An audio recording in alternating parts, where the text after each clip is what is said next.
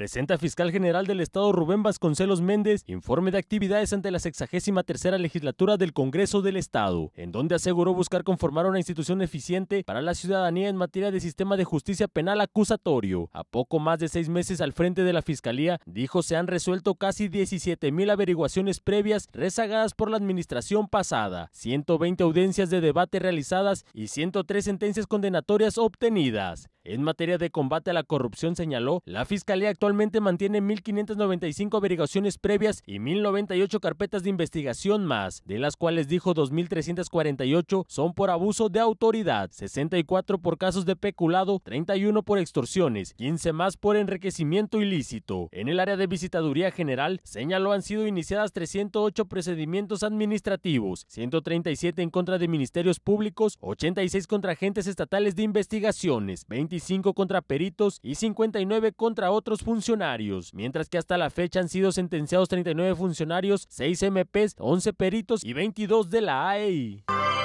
En los últimos eventos, estos no son palabras, en los últimos eventos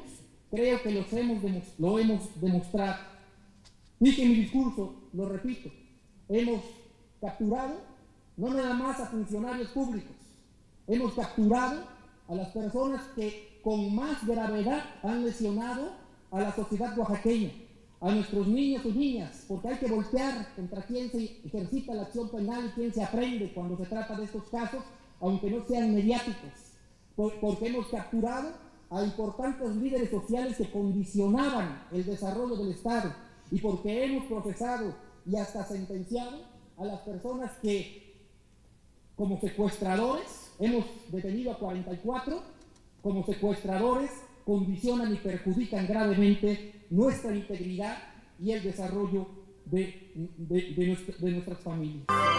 Vasconcelos Méndez finalizó diciéndole a los diputados de la 63 tercera legislatura del Congreso del Estado que tengan la seguridad que como autoridad en materia de justicia acusatoria no le fallarán a la ciudadanía de la entidad oaxaqueña. Sin embargo, recalcó es importante incrementar el presupuesto para el Instituto Autónomo. Estoy muy consciente que por unanimidad se me brindó la confianza hace seis meses o un poco más de seis meses y tengan la seguridad ustedes, señores diputados, como representantes populares, y tenga la seguridad el pueblo de Oaxaca, como que no les vamos a fallar en la fiscalía. Habrá mucho trabajo realizado con eficiencia y sobre todo con mucha honestidad. Con imágenes de Pablo Cruz para MBM Televisión, Rafael Ventura.